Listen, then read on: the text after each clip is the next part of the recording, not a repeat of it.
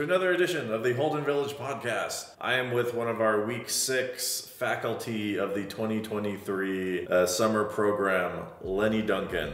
Lenny, how would you like to introduce yourself? So I'm a writer, speaker, scholar, and a media producer, um, and a lot of my work has been at the forefront of like what some people call racial justice in Sure. America. I wrote a couple books.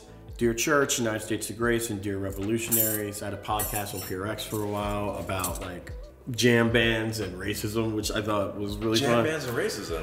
Dude, That sounds amazing. because it absolutely kind. You know, if you've ever been to a jam band I- show, I have been to There's absolute racism, right? So we did a yeah, we did a thing for Ben and Jerry's called Blackberry Jams during the uprisings, where we just talked. Jam. Yeah, we just talked about like the common shit that would happen. Like ever, I've been going to see the Grateful Dead since 1991, and without Sure. fail, there's some dude who's like, "So, ever been to one of these shows before?" Like, Jesus Christ, dude. Yes. Yes. Yeah, I ended up at VIP here next to Bob Weir's sister by accident. You're like, come on, man. Like, Yeah, I you just, know. I just stumbled. I wandered in. But like now, I'm, I'm, I'm a student down at the Graduate Theological Union doing my last semester of PhD coursework. Uh, I take comps in the spring and I start teaching a course called A People's History of Magic. Um, and right now, my focus is on is the fancy way of saying it. In case there's actually someone who is doing this work who listens to the podcast, it's a decolonial counter narrative to Western esotericism, with a focus on Black esoteric practices. And by Black, I mean Black peoples of the Americas. I'm calling it Black Magic and Black Power. Really, it's a people's history of magic, right? It's just the stuff we were all doing when no one was looking. You know, so like on your way to church when you grabbed mulberry bush to help you with your breathing. What, what does all that mean and, and what sort of uh, really useful social and cultural technologies have we thrown into what we call like the wastebasket of modernity? And that's so that's sort of where my work focuses. That's awesome. How would you like to talk about magic? Yeah, I mean, when we talk about magic or esoteric, uh, you know, esotericism or mysticism or seerism or divination, I kind of throw it all in the same bucket. And so, what it is, I mean, the pitch is is that it's really just the movement and the rearrangement of symbols combined with medicines in nature, with ceremony to change one's reality. When you hold it loose like that, it could be anything you want. It's the human urge to take smells and candles and herbs and minerals and praise the divine in some sort of combination. You know, it might be the divinity in you. You might be a person who's like, I am the div-" That's fine. I'm just saying, but it's your way of accessing that. And so that's what magic is. Uh, it's a way of changing reality and changing our own perception of reality. You know, and the interesting thing about any of that sort of thing, like when uh, Jung talked about alchemy and that sort of thing, one of the things he really focused on was it didn't really matter at a certain point whether it was your view of reality or if it was if you were just shifting your own individualized perception or if reality was shifting around you, the effect would be the same. He just suggested you had a good psychiatrist the whole time you were doing it, you know? I think it's a time of magic. I think it's a time for people to tap into their personal power. Our leadership was incredibly afraid that we would tap into our personal power. They were incredibly afraid that we would do communion at home and be like, why the hell am I going here on Sundays? They were incredibly afraid that if you started to build community without their specific guidance, what kind of community would that be? And when I joined communities like that, the emergent communities that happened during the 2020 uprisings, in 2021, as we continue to do that work in Portland, from everything from wildfires to, to indigenous land defense. And so that's why I think it's an important time for magic. I think it's an important time for you to know how to bury your dead. Call me crazy. I think it's an important time for you to know how to bless your children with water and welcome them into your tradition. Hundreds of traditions do it that way. I'm not really attached to how you're going to do it. I just want to make sure you have the tools to do it. And I think magic or looking at things more in that way provides that for people in really accessible ways. This idea that I that these elements can, can be combined and changed and they can shift things in this room, right? That idea that I am empowered in my own home, that, that God has empowered me the same way God empowered the 72. How is that not something the church would be into? And so I'm much more interested in that. I'm much more interested in what has been deemed miraculous. I'm much more interested in why the disciples threw lots when Jesus died rather than pray. No one talks about that. Most important decisions ever. They're like, break out the dice. I mean, come on, man. You know, like, but no one wants to talk about that stuff. So we, we need the goddess, we need her Yes, back, right? And we need her lessons for us, you know? And those are very specific lessons. Divine immanence, as Dr. Sherman puts it in my school, like that all matter is divine. The world around us is full of divinity and weighted down with it. When did you know you wanted to get into this? Is there like a specific core memory? Um, and when do you feel most magical? I was 10 and I had a dream that my granddaddy couldn't get up from a from a chair. It was actually a toilet in the dream, but I'd never seen a toilet like that.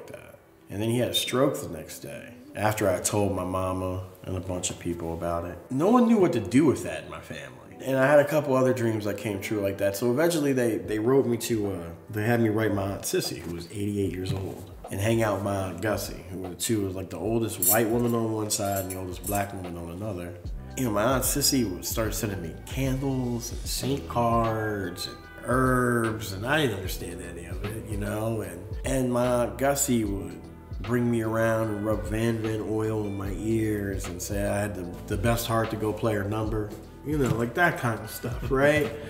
And so I, I think the first time I walked into a place in Philly called Harry's Occult, I was 12. Harry's Occult was this place that was just like one of those watchtowers, you know what I mean? So they, they had to sign up Harry's Occult, fighting evil since 1913. You know, like just just badass, you know? And they actually had a monkey's paw or a hand of fortune there and a few other things, like real ones, you know? And a full spread of everyone's stuff.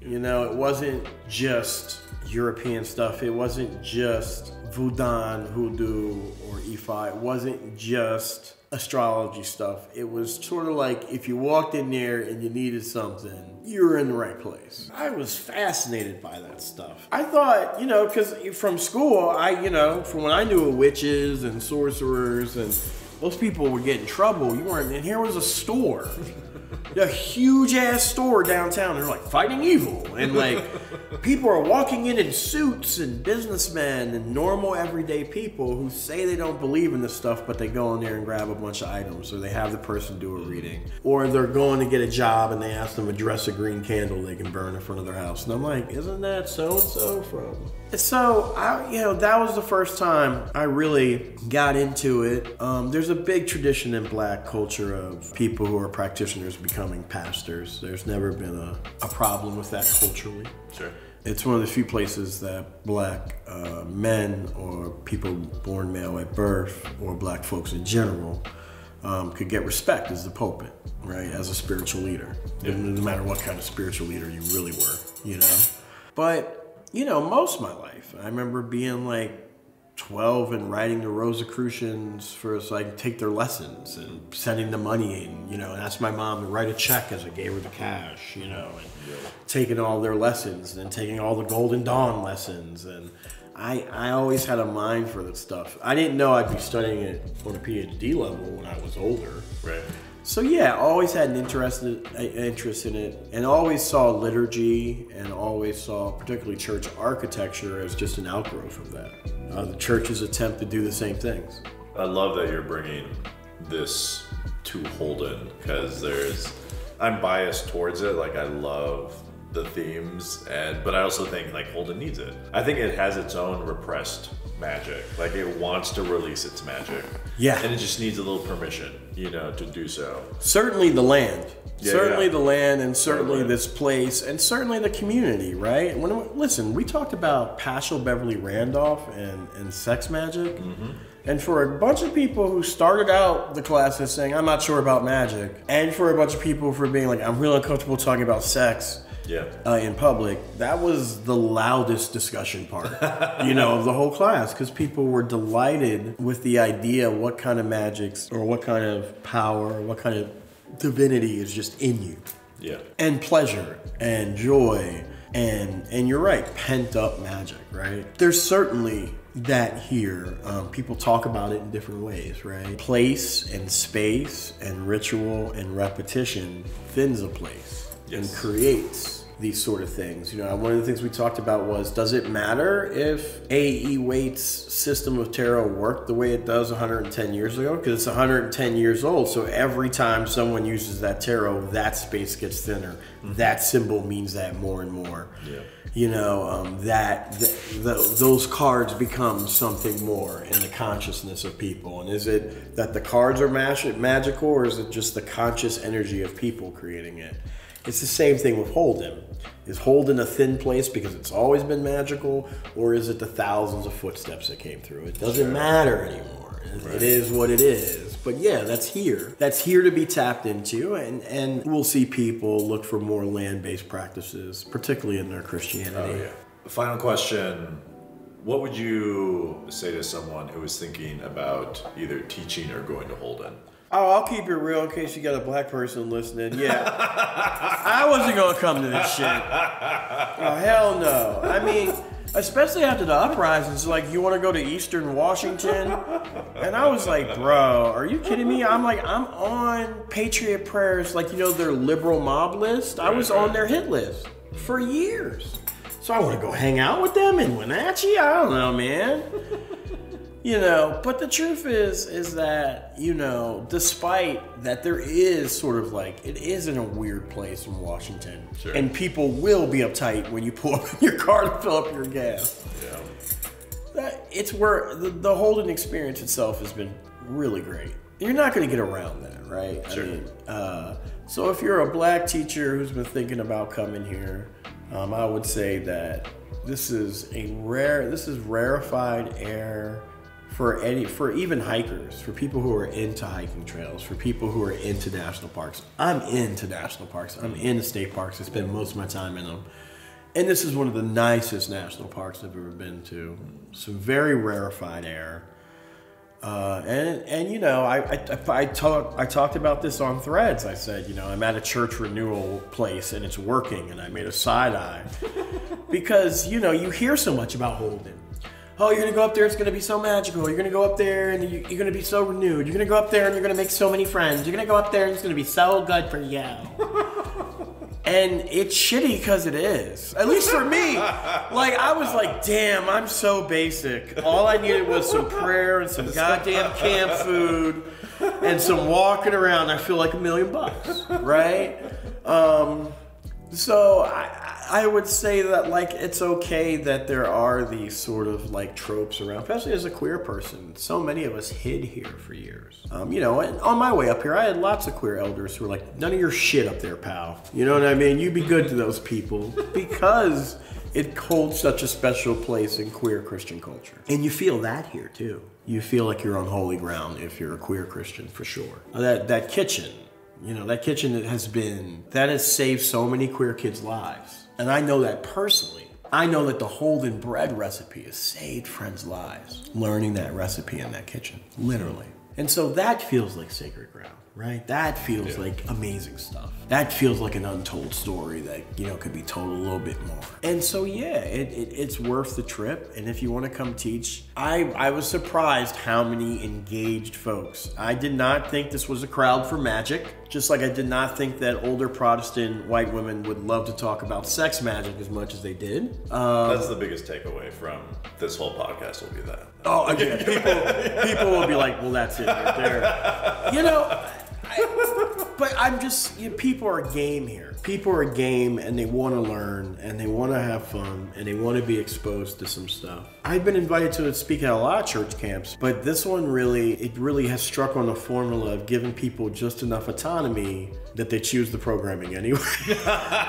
like, you know what I mean? That's the trick, man. That's the trick, man. But you know, just a really engaged, open space, and it's just been great for me. So you know, it's my first trip up, and it's just been great for me. And I'm not one of those people who never get because I think there's a lot of that too. There's a lot of people who don't realize how little they see of nature, Oh yeah. and they come here and they're like. Whoa, it's just so special, and I'm like, honey, you're just not in service. Like, you know what I mean? Like, that's, that's just the feeling of no one can reach you. Yep. and you've been able to wander through your day and you're not quite sure where you're going and that's yeah it's fresh air and It does exist. right and so i think there's a lot of that right Of course. but it is still one of the most stunning areas i've ever been in incredibly beautiful hiking and just a really and one of the coolest relationships i've ever seen between government church and community and private organizations i, I just when we pulled up, I was like, they just gave him this whole ass national park camp? I don't understand what's happening here. I was like, what is happening here? And yeah, it's it's it's a cool thing. And so it's definitely worth, you know, the trip up. It's definitely worth coming to teach. It's definitely a thing I'll probably try and do again. I hope you come back personally. Also, I think it'd be cool if like you know we did some camping too. You know. Oh man. Like you know, really, I don't know if you've had the opportunity to like you know go into Oh, like yeah. Cloudy Pass and like stuff like that. I've not had a chance to go to the Cloudy Pass or any of that, but I was talking to some people who hiked in, and I was just like, they're like, well, I took the easy way, Spider Gap, so I only had to cross a glacier, and I was like, what? I was like, you're like, I just hiked all the way in, and I was like, oh man, I want to do.